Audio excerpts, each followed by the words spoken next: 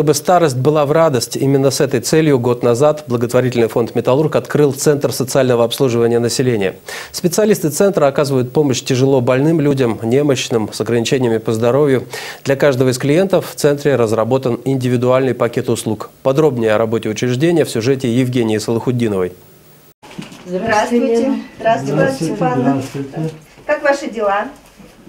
Ну, с вашей помощью нормально. Хорошо, спасибо. Да. Слова «с вашей помощью» – это не просто присказка. Социальный работник Елена Ерофеева к чете Семушкиных приходит два раза в неделю уже в течение года.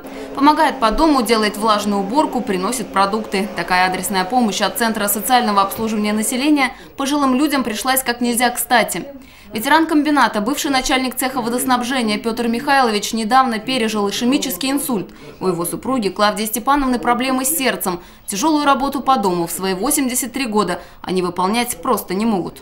Вот эта забота о ветеранах э, очень нас, как говорится, радует. Значит, вот мы всю жизнь проработали, и нас не оставили в тени. Коллектив замечательный. Такие люди, просто вот они нам уже родными стали. Серьезно. И мы благодарны очень вот этой организации, Владимирцеву и комбинату Рашникову. Молодцы. Именно при поддержке благотворительного фонда «Металлург» ровно год назад Центр социального обслуживания населения открыл свои двери для горожан. На сегодняшний день это молодое, динамично развивающееся некоммерческое учреждение, главная цель которого – сделать так, чтобы старость была в радость.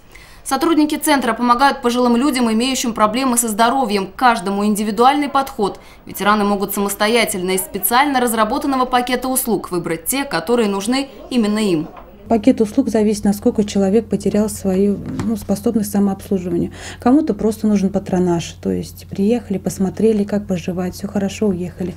Кому-то нужен полный пакет услуг, то есть есть люди, которые неподвижные, э, не могут сами себя обслуживать. Это смена абсорбирующего белья, купание, то есть полный спектр услуг, кормление с ложечки, приготовление пищи. Также специалисты центра могут оплатить квитанции, оказать содействие в ремонте, сопроводить, перевести. Главными получателями услуг являются жильцы жильцы специализированного дома ветеран. На сегодняшний день их 129 человек. Также бесплатно социальную помощь получают 60 ветеранов комбината и ММК «Метис», которые живут в городе и имеют государственные награды. Сотрудники центра – это исключительно профессионалы в составе 14 социальных работников, водителя. С недавнего времени в учреждении работает фельдшер. Она осуществляет патронаты, по назначению врача делает инъекции, ставит капельницы.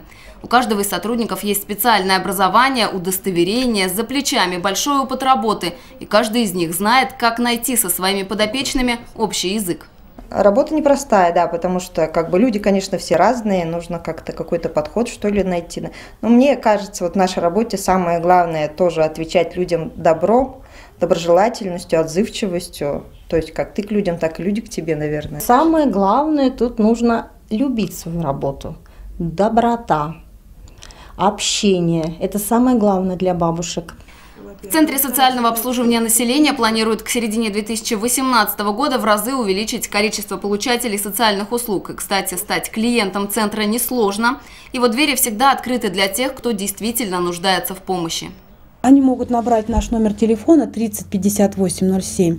Мы любую просьбу, любой звонок всегда обрабатываем, выезжаем на место, смотрим, какие услуги нужны, с чем мы можем помочь. Евгения Салхудинова, Владислав Гусев, телекомпания ТВИН.